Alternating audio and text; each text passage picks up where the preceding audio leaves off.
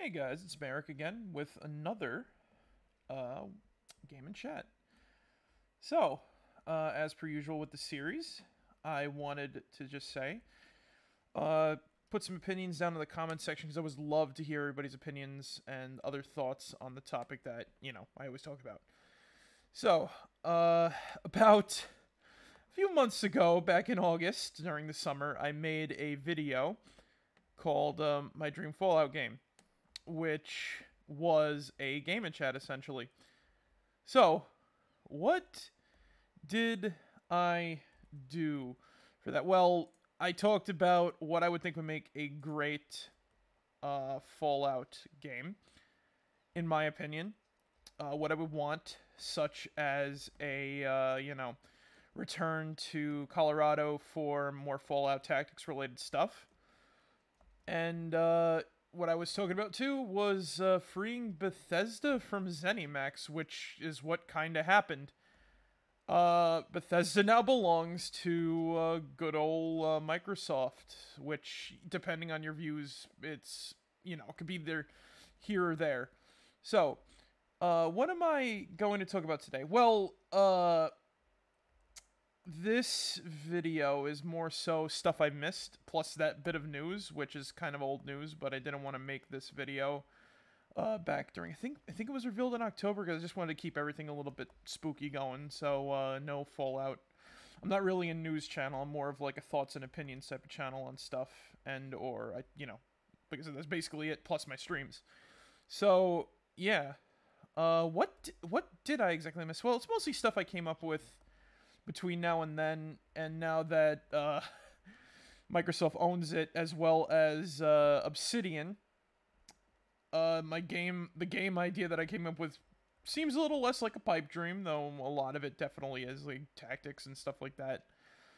But that's besides the point, because you never know what you're gonna get with a Fallout game. But you know, keep our we'll keep our thoughts in the in the uh, comment section below, and you know we'll we'll want to get a discussion going and all that good stuff.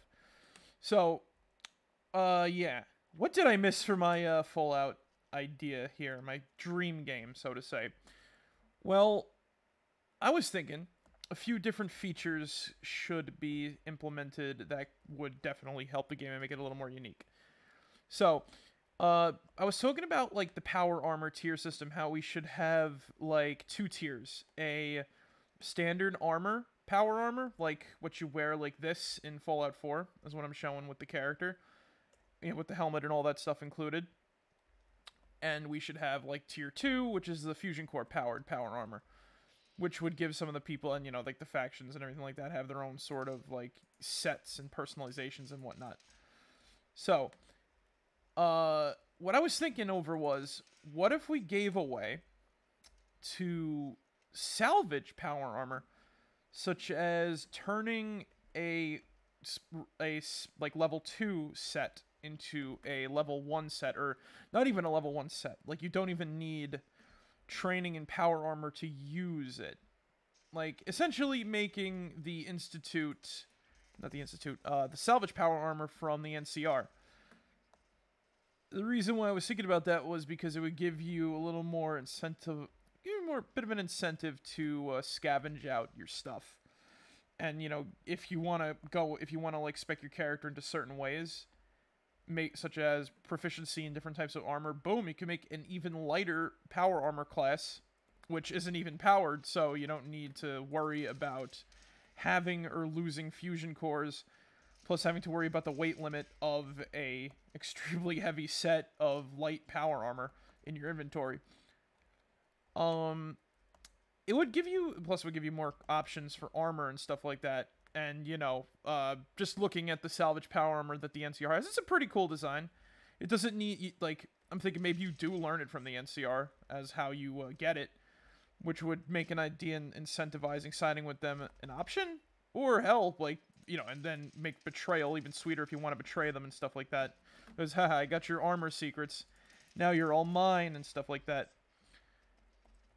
Um, was also thinking, talking about stuff like the settlement building and being able to like build up towns as well as your sort of vehicles and stuff like that because I was saying they should add like drivable vehicles to the game for the first time since Fallout 2 and Tactics. And you have like a sort of truck and the transport stuff on the back. You can have your settlement buildings and shit like that there. You know, your player homes and turrets and stuff like that. What I was thinking with the truck idea was that imagine if you sort of had like a train of trucks like eh, you probably wouldn't be able to like sort of pull that off. But hey, I was thinking, I don't know. This is a little bit of an off the cuff thought. Like you could have like fifty thousand things, but that that's definitely a bit of the pipe dream aspect. But otherwise, I do think that the idea of drivable cars in the game would be a great addition. Plus, you know, once again, people go ape shit over that because it'd be pretty fucking cool. Uh, other than that, what I was thinking was one thing that they definitely need to do for like realsies is a full on quest line related to the paranormal shit in Fallout. We've had a few quests related to as such.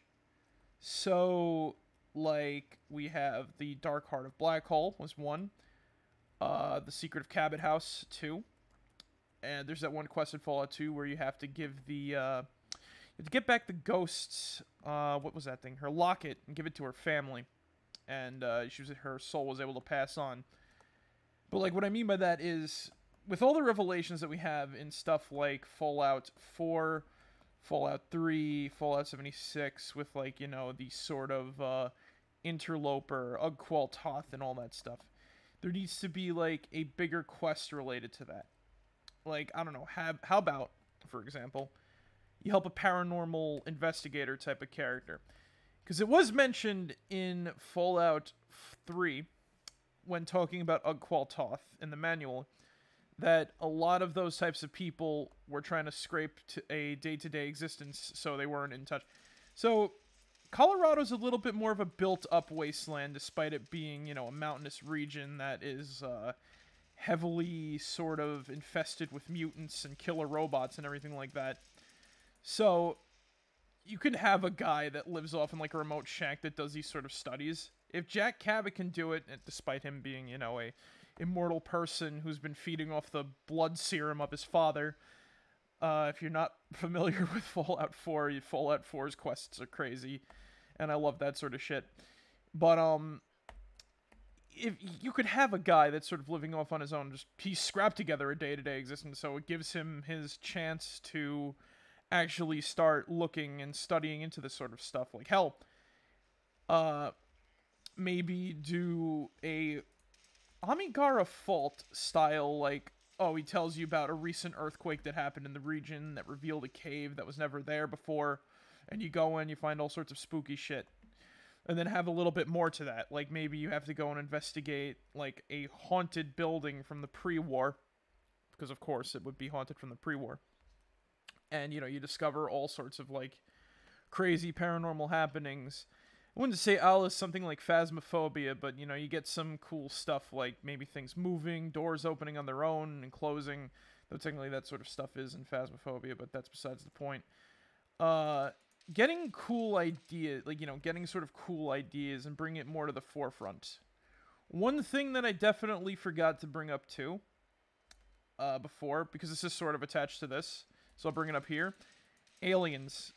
We need to do something with the aliens again, because I, I really like the idea that just because it's in every Fallout game. There's aliens in every Fallout game. And I do like the idea that in 3, we finally sort of see that they were attempting to either invade or do something, but they never really got around to doing that sort of invasion or something because, you know, the world blew up. And they're just kind of like there, and they're still kind of like here. I just like that sort of idea. So bring back aliens for sure. Cause I know we got, I think we got in '76, but that's like you know hundred years before uh, all the stuff happened. So yeah, um, like back to the more like paranormal thing. Uh, have more of the Ug-Qualtoth stuff, like a little bit more of it, because I'm you, I'm always always like at least for me i'm always always looking for that sort of thing i really love that like i really love that story beat it's just it makes the world a little more interesting it it, it doesn't have to be like completely in the front but have it as a side thing, something sort of fun.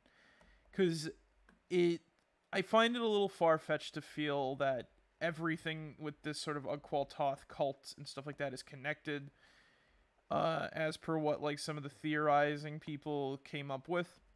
But I do like the idea of it being in there and giving some explanation to some of the creatures like the ghouls. But otherwise, yeah, it's just a fun little story beat that I would love to see come back for sure and have a little bit more of solidity and not like wacko nonsense. It was I was I was honestly very disappointed when I found out there was nothing related to that in New Vegas. And uh, someone, I remember having a conversation with someone a long time ago, saying that uh, oh, but why like why would they have that all the way out like west if it was in the east? I'm like this is like a fucking like Cthulhu cult. There's hidden like in that sort of mythos. There's hidden shit everywhere. Hell, especially in Nevada. They even made reference to it in Fallout 4 that there's stuff like that in Nevada. But anyway, uh, spooky stuff aside, uh, I would like to see more of that. But aside from that, uh, a friend of mine asked me, because he watched the video, he asked me, like, why would I want to sort of, like, what other factions would I want to sort of see? And I said, like, I think I honestly think that with stuff like the NCR and the three Brotherhood of Steel members, plus like any potential uh, tribes of tribals around in the wasteland, I would like to see that stuff something like maybe a new set of Brotherhood outcasts. Um, I, have actually been playing the uh, Outcasts and uh, what was the what the hell was that mod? And I like the idea of the Brotherhood of Gold, like people disenchanted, like more along the lines of Elder Lyons' is sort of like deal. And they're disenchanted with the idea of the Brotherhood because of what they sort of became, the Eastern Brotherhood, I should say. Um, so like I would like to see a new sect of the Brotherhood Outcasts, but at the same time, I feel like it, it would be treading, it would be retreading the same ground. And I do feel that other than retreading the same ground in the sort of faction, uh, as much as I like it, I just feel like there's enough Brotherhood stuff. Like, what I could see is something like the uh, Scribe special encounter that you can get in uh, Fallout 4 at one of the random encounter locations, which grants you a new person for your settlement that'll sell you, like, legendary equipment. Well, and unique equipment, too. But aside from him, I don't feel like there's much to uh, talk about with that. Like, like I just want to see like more. I would just want to see like more uh, factions other than like you know Brotherhood stuff, like Brotherhood stuff. Because there's, in my thoughts, there'd be about like three of them in the sort of like Battle of the Brotherhoods plus the NCR. Uh, that same friend also asked me, uh, why wouldn't I want to have a sort of evil faction. And I'm like, well, it's mainly because I find that a little far fetched. Because while there would be, while there would be a bit of an evil faction, like there's always like ulterior motives and some sort of stuff like that. It kind of bothers me because it's like, why would anyone support Caesar's Legion when they're clearly, obviously bad guys? Now, the reason why I bring this up is because, well, the problem I have with the Legion is they're clearly evil and they're meant for an evil character. But why would a fucking faction consist of that type of evil? Is my question. Like, uh, like here's what I'm talking about when I talked about like basically taking over factions in my game idea. You can sway them in any direction you want to go.